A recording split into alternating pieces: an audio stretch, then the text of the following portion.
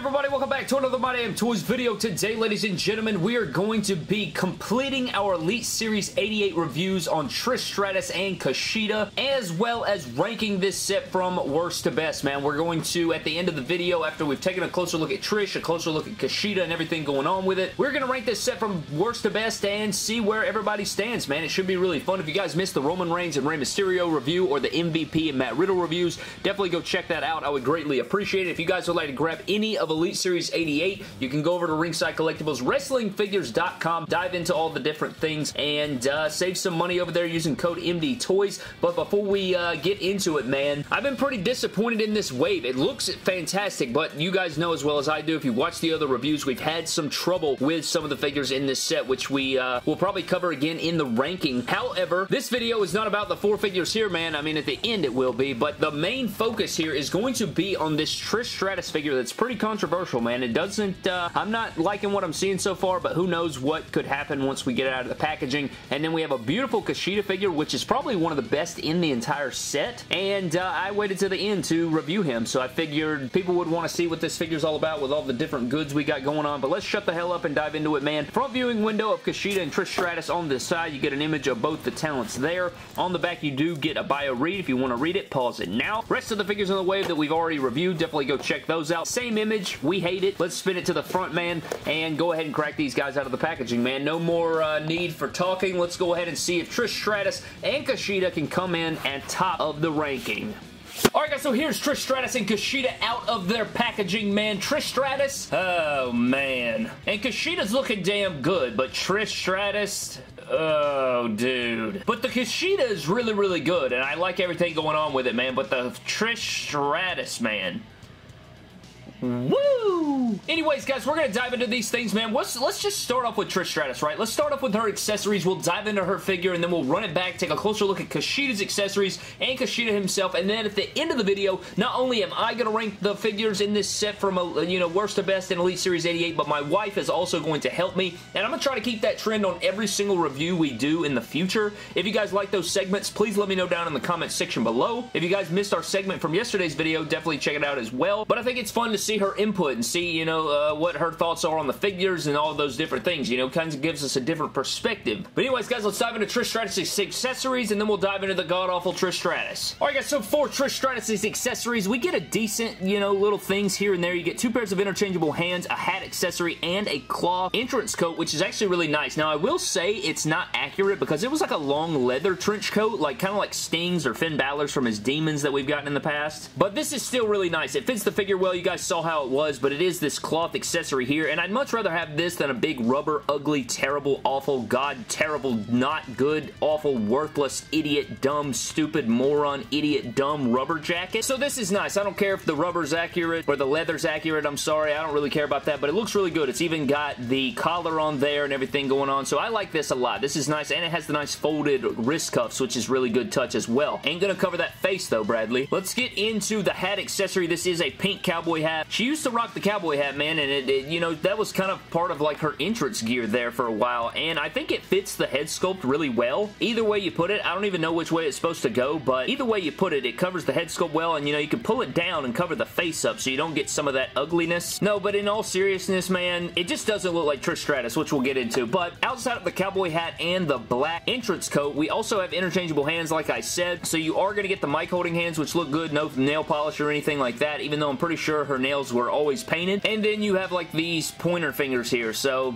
kind of like casting a spell, creation of man style going on. This finger's kind of slightly broken, but I can fix that, no issues. But I like this hand sculpt, you know, I like the interchangeable hands, giving us different options and stuff like that. You can get creative with it. But that does it for Trish Stratus' accessories, man. So with that being said, let's dive into Trish Stratus herself. So diving into Trish Stratus, man, I just, uh, I just don't see it. Also, I have a little bit of like lipstick or something on the nose there, but like it just doesn't look like Trish whatsoever, man. Like, it just looks like a random blonde fan or something. Am I insane? Like, it just doesn't look like her whatsoever. It looks off. The mouth looks weird with the teeth painted like that. Super skinny face compared to, like, Trish's round face shape, I would say, especially for that time frame. The blonde hair looks good and everything like that. I like the hair sculpt going on. This attire that they went with is super plain Jane as well. It's just black and pink. No graphics, single jointed arms. It's just a really plain Jane figure with a not so good face and a nice nice trench coat. And you may be able to get away with it on your shelf, you know, for your, your, for your specific shelves, you may be able to get away with it, but I don't know, man. I just don't like the way that the face looks whatsoever. I just am not seeing Trish at all. You guys can let me know what you think down below, but solid black top, pink outline right there, solid pink trunks, very plain Jane again. No wristbands or anything, just single jointed arms, which I don't know why they did that. Black knee pads and black kick pads. That is literally it for this figure. You can also see the, the belly button there, but I don't know, man. This is just a miss for me. This may be one of the worst releases in a minute, at least in just like in my head, but yeah, man, definitely disappointed in the Trish Stratus figure so far. And then for your Trish Stratus figure comparisons, guys, here's the Hall of Fame Elite Trish, and this figure is much more superior. It has a better likeness to her. I know this is more of a later Trish, but I just like, this figure is just better. I know it has single jointed knees, which kind of sucks, but single jointed arms, I mean, they have like the same kick pad mold. They're still using that kick pad mold all these years later. Really need to get away from that, please Jesus. But I think this figure is probably more accurate in height, maybe. This one may be. It's 5 foot 5, so I don't know. I guess, we'll, uh, I don't know. But Jesus, dude. Yeah.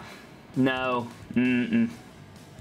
Not feeling it. So for Kushida's accessories, man, I love what we got going on here. They kind of went all out on this guy. The first thing that we have, guys, is his entrance vest. Very, very soft rubber. Now, they couldn't really do this cloth because they made this cloth, which I really like. I kind of like the difference in textures right there. And it's very, very flimsy. Like, it goes on the figure really easily, and it's got good sculpts going on with it, so I don't hate it at all. I actually don't mind it whatsoever. This seems to be a new sculpt. I don't think this is, you know, anything that we've seen, you know, in the past, so it's got a nice bright orange color it looks really good and it's accurate. I like the way it turned out and everything. And again, it's really easy to come off. It's not going to hinder anything, so that's really good about a vest. And he does come with a cloth accessory, which is so good, man. This long sleeve with the undershirt underneath and the polka dot pattern, and it does have the Velcro on the front, so you get like this kind of gray heather pattern going on. It's like a dark gray, kind of grainy looking. It's got the collar on there. Very nice shirt. You know, he's got his Back to the Future gear going on. He's got his hoverboard pants going on, which we'll get into, but he got the nice cuffs with the polka dots on it. Very nice, man. I want more stuff like this. Like, if they could give every figure a cloth accessory, even if it's just a regular t-shirt, that would be fantastic. This looks great. This is like what we love to see. Collectors love to see this, man. This is excellent pieces right there. We'll show what it looks like on the figure later on. Outside of that, you do get some nice shades right here, and we're going to plug that on the figure, see what that looks like. I think it looks pretty good. You know, you got the modernized style glasses going on. You know, kind of plain Jane. It doesn't have like a reflective material on it, but it still works. I think it gets the job done, and I like the way it looks. And then outside of that, guys, you do get interchangeable fisted hands. One of them has black tape on it, and then one of them is plain Jane. So his left hand is plain, and his right hand has uh, tape on it. So you guys will see here, he also comes with pointer fingers. So the right hand has black tape, and the left doesn't have any tape. And then last but not least, he has the magical but not so great slash psych it is amazing mic holding hands. Black wrist tape on the right, no wrist tape on the left, which is fantastical. So mic holding hands, pointer fingers, fists, visor glasses, beautiful vest, and beautiful cloth platted shirt deal. Let's go back to the future. So diving into Kushida, man, really liking the head sculpt as far as I'm concerned. It looks just like Kushida. I like the skin tone that he's got going on. I love the fade haircut on the sides right here. The man bun looks really good. Facial hair looks really good. I really, really enjoy the Kushida head sculpt. I think it looks just like him, honestly. Like every image I've seen, every match I've seen of the guy, I like the torso choice. I think it works out nice for him. Going down into the elbow pads, you do have the black elbow pad. He has the double jointed arms, black wrist tape over here with the hand tape. We covered that in the interchangeable hands portion. He's got his watch over here on his wristband for, you know, tying in all the gimmicks and stuff like that. My favorite part of the whole figure has got to be the white gear, man. Look at this sick hoverboard Back to the Future inspired gear with the graphics going down the sides there. Any Back to the Future fans, you can let me know down in the comments section. Got the Buddy Murphy crotch, but he does have ball joints, which is really sick. You love to see that. White trunks mold. Maybe I can get a Kevin Owens made out of a future Kushida or something in all white. White knee pads, white kick pads, and again, you continue, continue on. You continue on the same graphics going down, man. Really sick figure, man. Like, holy crap. I've seen a few Kushida matches in my day. Always liked him in the ring. I don't really know if he was able to, you know, like separate himself in NXT, but I've always been a fan of the guy's matches. He's always put on bangers. He works really hard in the ring, and he looks great in there, too. Like, the gear's sick and everything like that, but that wraps up our Kushida figure, man. Like, also just great articulation on this guy. He feels really good in the hand. He's got the double jointed arms. I'm not noticing any like loose joints like MVP or anything. He has the removable head and all that like we covered in the last few reviews, but dude, that's a pretty damn good football figure, man. We'll see where he comes in when we rank the set. Alright guys, it is that time of the review where my wife comes in and gives us her honest thoughts on Elite Series 88 Trish Stratus and Kushida figures. Alright guys, jumping right into it, we're going to start off with the Trish Stratus. It actually bothers me that um, they're behind the wrong boxes, but it's fine. No one can see that but me. Let's see, starting with the Trish figure, uh, I've got to say, first first initial reaction is it, it doesn't look good at all. I actually don't like it. I think that her face, they did not capture the likeness of her face at all to me. Uh, just my personal opinion. I, the, I mean, they, yeah. It's like it's too skinny or something. And um, I don't know if you There's guys can see paint. this. There's Let's like see. I was going to say, no, it's they really messed up the makeup altogether. Like me as a female, like misprint? They overdrew drew the lips, and Mm-hmm. then there's paint. There's like lipstick on her nose. Yeah, it could it could just be a misprint, but Maybe I mean, a misprint. it doesn't look like Trish Stratus from that time period. I, I'm sorry, but if this was my figure, I'd be pretty mad. I would, I'd be mad. so if you were Trish, you'd be. if I was Trish, I would be upset. That actually looks horrible. That looks like knockoff brand, great value brand Trish Trish. Stratus at home. Yeah, this is Trish Stratus at home. When your mom tells you you got got food at home, this is the food at home. This figure, this is the Hall of Fame Elite, I believe, and it looks significantly better to me. I mean, it's obviously an old version of her- you know what she used to look like, but wow, the difference between these two. Just look at the faces. I mean, well, this is actually the flashback. This is more of uh, I want to say like sometime like maybe 2012 or 13 maybe. okay, well they need to go back to this because this just just looks better. I don't Well, they've released this head sculpt with this blonde hair, but they tried to go for TrueFX, and I don't think it landed, Brad. I don't think it landed. Look at the face shape though. Like even the Yeah, like, heads are smaller. This captures her face shape. It's more like round. This is like so skinny. Yeah. So she's on drugs. And then I'll tell you what, just coming from somebody who like actually enjoys makeup and understands it to a certain extent, uh, I think you know her lips. It looks like they've actually got them like she's had them done in real life, and instead of just making the lips bigger, they tried to outline them with a color to make them appear bigger, and they and then that just was awful. Sorry, I hate to say it, but not no, Mm. What not good at all. Kushida. All right, going into Kushida, I, I stayed a little while on Trish. Sorry about that, but it's just bad. Um, Kushida, first figure. Let's mean, see. I don't think you've ever even seen. I've him. ne- I, I have nothing to compare it to. Uh, I've also never seen him wrestle before. You see, he's got like the Back to the Future gear. It's like the hoverboard on the side of the. Yeah. I love the gear. I think the gear looks sick. Also, good articulation and nothing seems to be loose, so that's good. Um, just comparing it from the picture that's like on the back of the box, I think it looks a lot like him. Uh, looks, I mean, everything looks good. This is definitely much better than the Trish figure. I mean, I think anything could be better than that at this point. but I mean, it actually feels good, looks good. I've never seen him wrestle, um, but I mean, I think that if that's what he looks like, I'm assuming it does. Just going off the picture off the box, I think it looks great. All right, now that we've reviewed the full wave, uh, would you like to do a ranking of the full set? Yes, let's do it. Alright guys, it is that time of the video where I rank Elite Series 88 from worst to best, and this time my wife is actually going to help out and do her own ranking. So before I do my ranking, she's going to do hers. So you guys know the criteria for the ranking. You know, there's a lot of things that go into it for me at least. So my criteria for the ranking is typically excitement level for the figure. How does the figure feel in hand? Is the likeness good? Does it look like the character? How much am I going to use it? You know, how the figure feels in the hand, posing it around, all of those good things. Accessories comes to mind as well. But uh, I'm going to turn it over to Wifey and see how she ranks this set. So what do you think? Start off with your worst and then work up to your best. Alright guys, so I played around with these two figures since I was not included in that review for these two. So Matt Riddle, MVP. Um, I'm disappointed in the loose arm over here for MVP, but Matt Riddle, all in all, I, I like it. I think it looks good. Um, I'm gonna have to say that Trish is absolutely the worst one. She's hard to pose, no likeness at all to me. Doesn't look like her. It's just not a good figure. It, I don't, I don't like it. That one's gonna be the worst for me. Alright, this is kind of tricky, but I'm gonna have to go with MVP for the next worst only because of the loose arm. I I actually think the figure is easy to pose, um, but the loose arm, I'm just not a fan of of when they. I mean, come on, you can do better. That's that's your job, man. Make these figures good.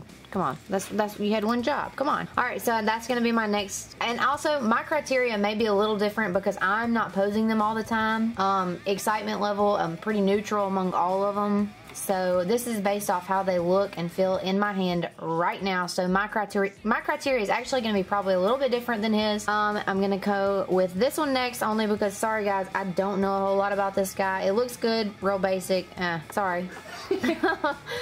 Um, all right, I'm gonna have to say this one being exactly the same. I'm a Roman fan, y'all know this, but it's exactly the same. They knew the figure would sell, so they didn't do anything to it. Boo. Actually, honestly, I could have probably put that one further down than I did. Wow. Um, I, I, shouldn't have been as biased, but I, I, am sorry. I apologize for being biased towards Roman. I actually probably should have ranked him a little bit lower than I did. Man, same thing with this. I, I can't stand this right here. I, I, don't know. It's just, come on, do better. So I guess my top pick is actually the Matt Riddle figure. Looks wow. good, looks like him, poses well, easy to stand. That's for somebody like me that's a, a, beginner at all this, that's my number one. So so Matt Riddle comes in at the number one spot. Now we will dive into my ranking and see if uh, it lines up. So let's go ahead and recap. She had the Trish Stratus coming in at the bottom of the ranking. We had MVP at the number five spot. Trish, you suck. Coming in at number four, we had Kushida. Coming in at number two, we had the big dog, the Tribal Chief. Coming in at number two, we had Rey Mysterio, and the winner of the Elite Series 88 is going to be none other than Matt Riddle. Three. You said two. Three. Did I say two? Yeah. I swore I said three. You said two, man. Hmm said three. but that's a pretty good ranking right there. Pretty shocking to see MVP that low. I don't even know how I'm going to rank him just yet, so uh, let's go ahead and dive into my ranking and see where it compares. Alright guys, it is that time of the video where MDT ranks the set from worst to best, as you guys know. And you guys already know the criteria. We just covered it in the video, so I'm not going to go through it once again. But uh, let's go ahead and dive into our figure ranking, shall we? Starting out at the bottom of the list, man, not a big shocker, man. We're going with Trish Stratus. I want to like this figure, man. I really do want to like this figure. I love Trish around this time. You know, she really was the, the top of the top. Her and Lita were the top of the top when I was growing up, and she really, really solidified women's wrestling, I would say, for the WWE. But this figure, man, just doesn't look like her. It looks nothing like her, really. It, it like, I just don't even see this figure as Trish. It's just more of like a blonde female woman, you know? It's just, I, I don't even know. But that comes in at the bottom. I don't think that's really a shocker at this juncture. The rest of these, man, it's really, really hard to rank because all five of these figures are pretty damn bomb, but uh, I'm going to do my best to try and do this, man, but Jesus, it's going to be difficult. I'm not going to lie to you because these guys all are great figures and they have really good accessories too, so and, and their likeness is there. You have the double jointed arms. There's a lot of things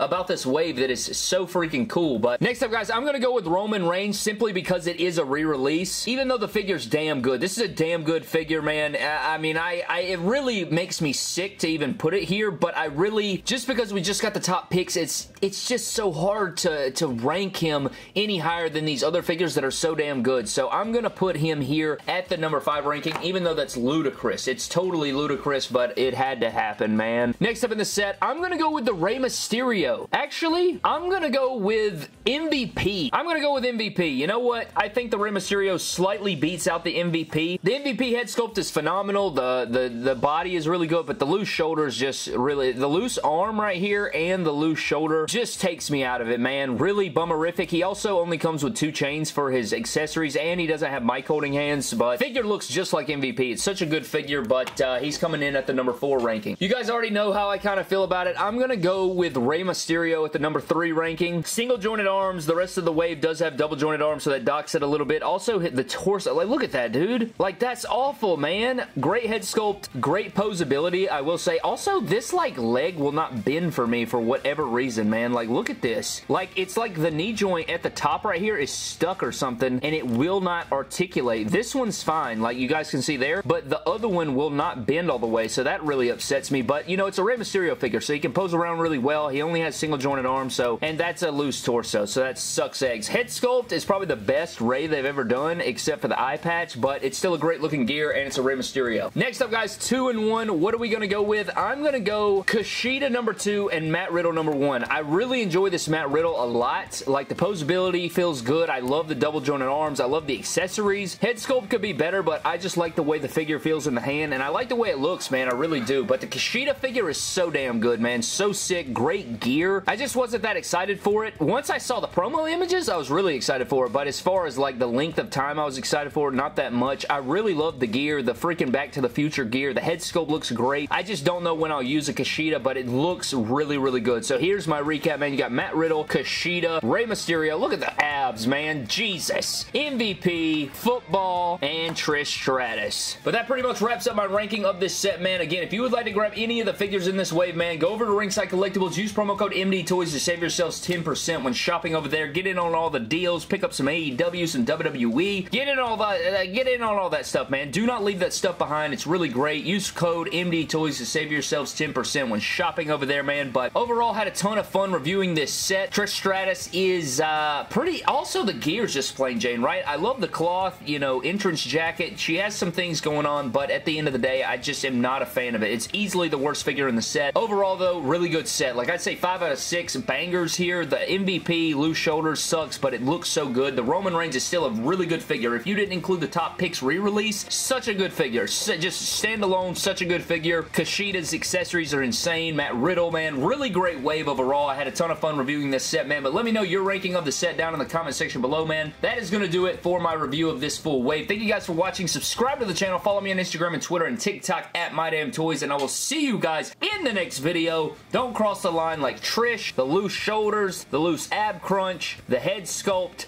the Kushida arms are a little loose, and the re-release of the Top Picks football game. You